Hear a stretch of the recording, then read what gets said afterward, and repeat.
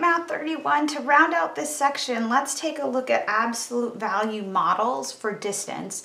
And I want to practice going from a statement, like a sentence written with words, into some math symbols. I think we tend to struggle with going from words to symbols, so I want to practice that, and we're going to practice it um, using absolute value models. So if A and B represent two real numbers, then the absolute value of their difference, and you can write the difference in either direction, A minus B or B minus A, but either way they have an absolute value um, grouping symbol around them. That represents the distance between them. And let me give you a for example. Let's talk about 3 and 7. I think you'll give me that these two numbers are four units apart, right? If I was going to draw the number line, we have 3 and then four units later we hit the number 7. Well, think about the absolute value of their difference. What if I did the absolute value of 3 minus 7, or I happen to, to do it the other way, the absolute value of 7 minus 3?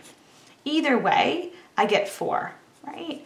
Because these two numbers are 4 units apart. So if I want to talk about the distance between two numbers, I'm going to go ahead, subtract them, and then take the absolute value. All right, so we're gonna write each statement using an absolute value inequality. When you hear inequality, it means you get to choose between the symbol less than, less than or equal to, greater than, or greater than or equal to. Those are your four options for an inequality, right? Versus an equality, you just get the equal sign. All right, so M is no more than nine units from three. So let me give you a visual. If I was gonna make the number line, uh, let me find my trusty ruler. Found it. If I was going to make the number line, and I'm not asking us to solve this, I just want to give us a graph idea. If I was no more than nine units from three, right, I could go in either direction.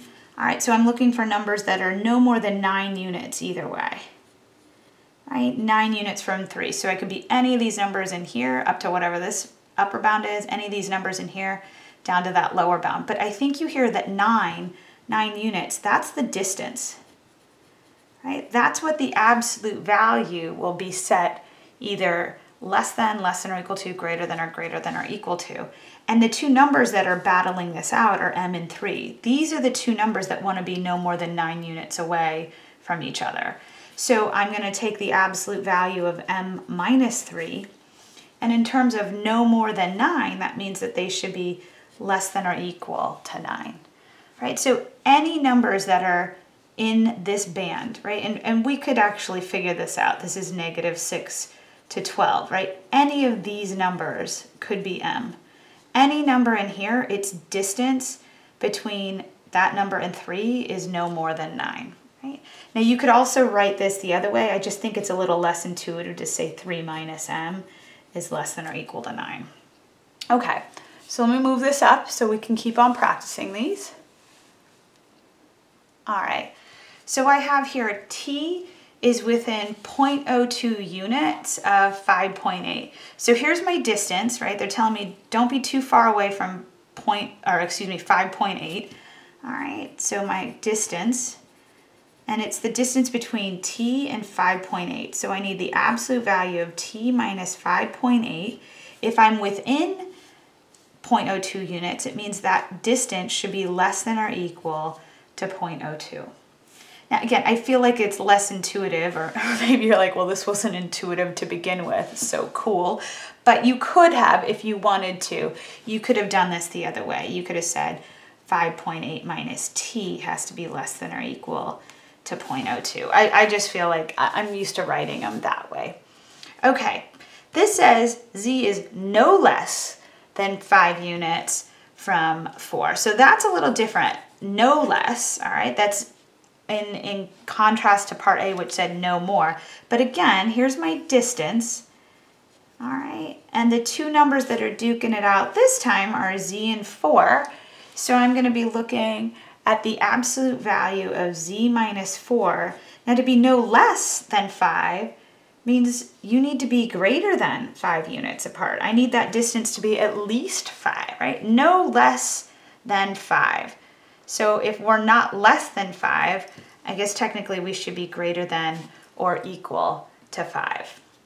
Okay, so let's practice these last two see if we can get them written up as absolute value um, inequalities. So k is within some distance of 10, so we will have the absolute value of k minus 10 has to be less than or equal to 0.0002.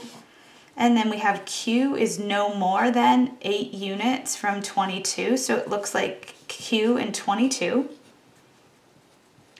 And they want to be less than or equal to 8 units away.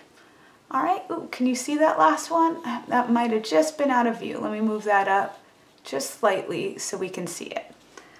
Okay, so with that, that, that ends for us chapter 2 and section 2.7. So just to keep in mind, in section 2.7, we talked about how to solve linear inequalities, right? Whether they were two-part inequalities or three-part inequalities, keeping in mind that whole when you multiply or divide by a negative number, you need to change the direction of the inequality.